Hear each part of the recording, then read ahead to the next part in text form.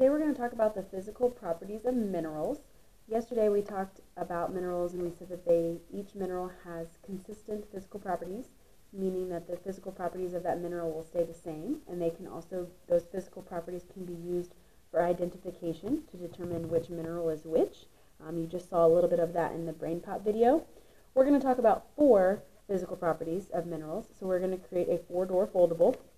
So if you take the piece of paper you picked up when you walked in, fold it in half, hamburger style, and just make a little mark where the middle is. And I'm sorry it keeps going out of focus. If you open it up, we're going to fold the right side in to our halfway mark, and then we're going to fold the left side in to our halfway mark. and then fold that down. So this gives us our two doors, but since we want four, we're going to need to cut each of these doors in half. So if you kind of just eyeball where the middle is, you're going to take some scissors and you're going to cut only the top part so that you're creating the flaps. You're going to cut that piece in half on the left side and on the right side. Now mine is not perfect. If yours is not either, that's okay too. Okay. But if you see now we have one, two, three, four doors. Okay? So the first property that we're going to talk about should sound familiar from when we talked about the physical properties of elements, when we talked about metals, nonmetals, and metalloids, and that is called luster. So I'm going to write that on the top right section.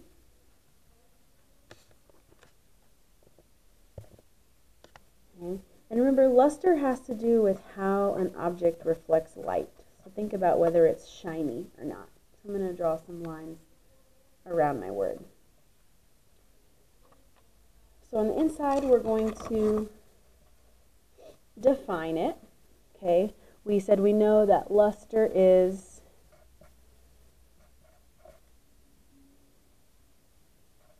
the way the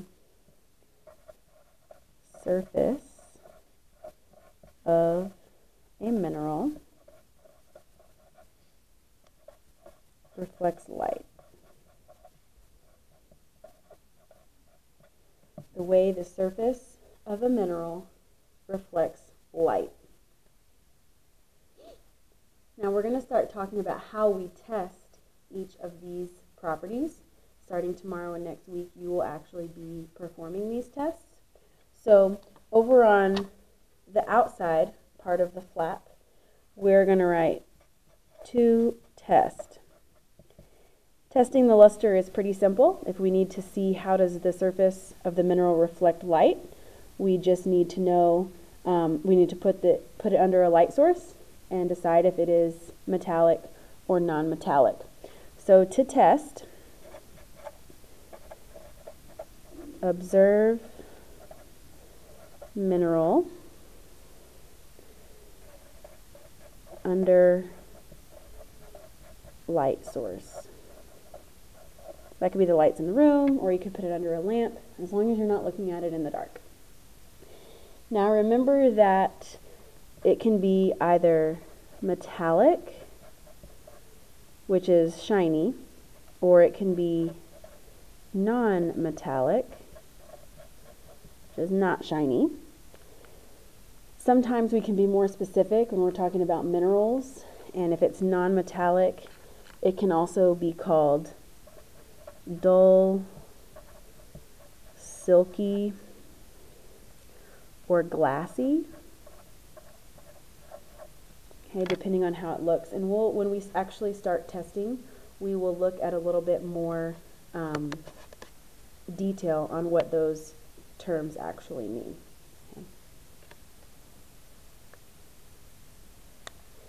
The second property that we're going to look at is color. So we are going to go down right underneath where we had luster, okay, and we're going to write color. Now color is um, a property that we've discussed before, and it's um, pretty obvious, a common word we know. It's really what, what color is it? Is it reddish? Is it more black, white? So um, color is just using the same colors that we already know. If you open up this part, okay, on the inside we're going to put the description.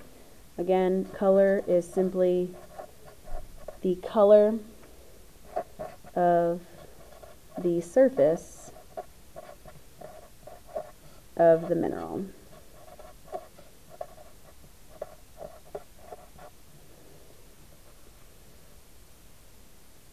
Now, unfortunately, color is not the best indicator, um, the best physical properties for identification. We'll talk in a minute about one that's even better, because sometimes um, different minerals can share the same color, or one mineral, for example, quartz that we looked at yesterday, that can have a variation of colors. So um, testing the color is pretty simple. So on the left side, we're going to say to test similar to luster. Look at the surface, that's the outside. Look at the surface of the mineral in a well-lit area. Again, we don't want to be looking at it in the dark because colors can appear differently depending on the amount of light.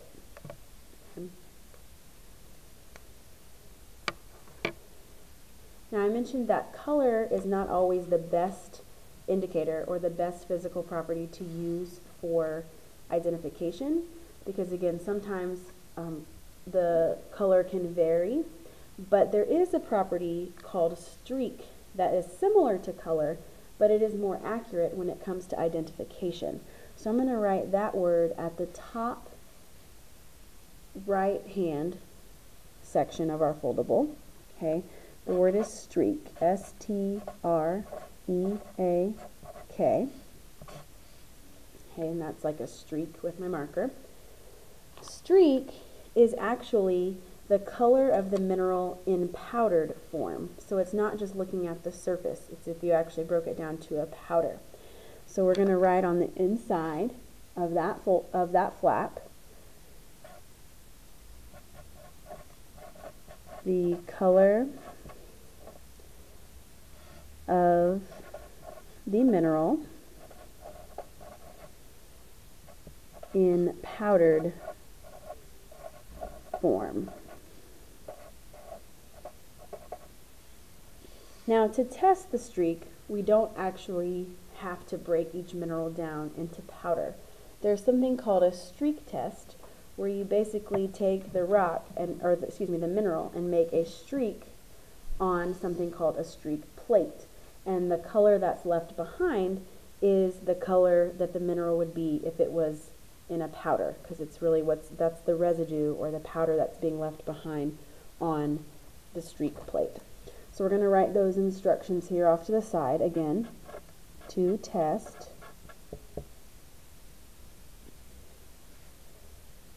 rub the mineral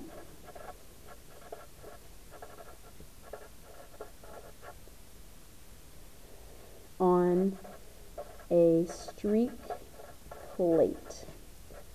Now a streak plate, it really just looks like a piece of tile.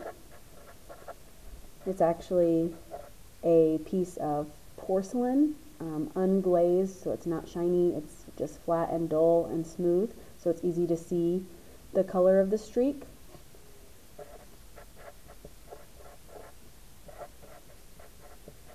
And like I said, tomorrow and next week when you actually start doing these tests, you'll be able to see what the streak plate looks like and actually be able to um, perform the streak test.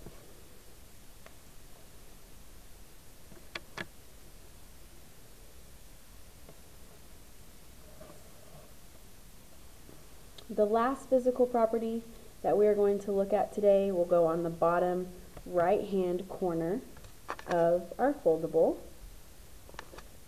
if it will focus. And that is going to be called the hardness. H A R D N E S S. Now the hardness is just like it sounds. How hard is the mineral? It um, could be soft, or it could be easily scratched or marked on, or it could be considered to be more hard, where it's unable to be scratched. Um, and so scratching is really how we measure the hardness. So if we open it up, open up this flap, we can define the hardness as how resistant a mineral is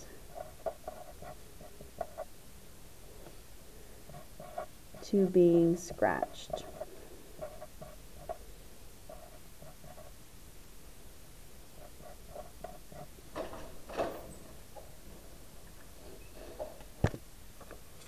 To test the hardness, we use something called the Mohs hardness scale. It's named after the scientist Friedrich Mohs who came up with this. And it's a scale from 1 to 10, where 1 is the least hard or soft, and 10 is the most hard. And what he did was he put um, some particular minerals, like yesterday we looked at gypsum and calcite, we talked about fluoride in your toothpaste, all the way up to diamond. We know that diamond is a very strong mineral, it cannot typically be scratched. And so what he did was he came up with everyday common objects that have the similar hardness. And so in, when you do this test, you basically take something like your fingernail and you try to scratch the mineral. And if it does scratch, it would fall somewhere in this range. If it doesn't, you would go to the next item. Take a penny. If it can be scratched with a penny, it has a hardness of about 3. If it can't be scratched with a penny, you move on to something else. You could use a file or a glass plate, and then you keep going. And if nothing can scratch it, um, then we would say that that's about as hard as a diamond and has a hardness of 10. So tomorrow and next week we'll talk about using the Mohs scale.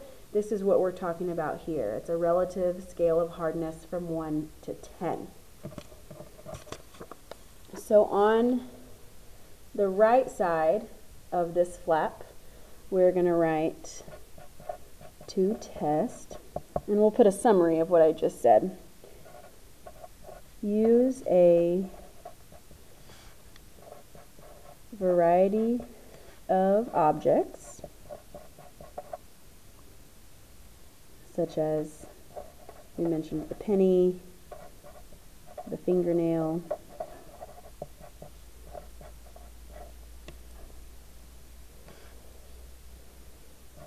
to see what scratches the mineral.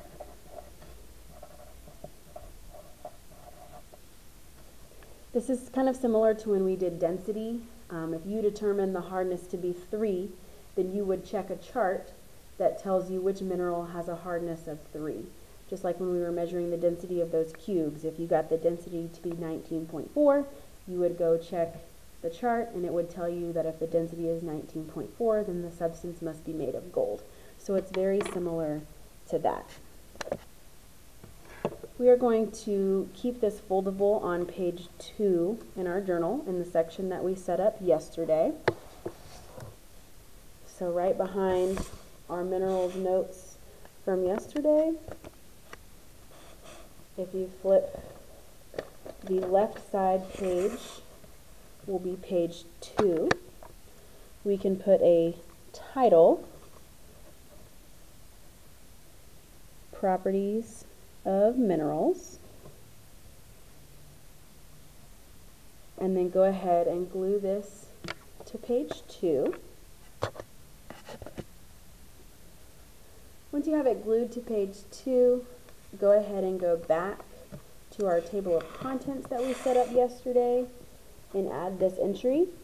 Today is the 28th. Our title, properties of minerals, and we just glued that onto page two.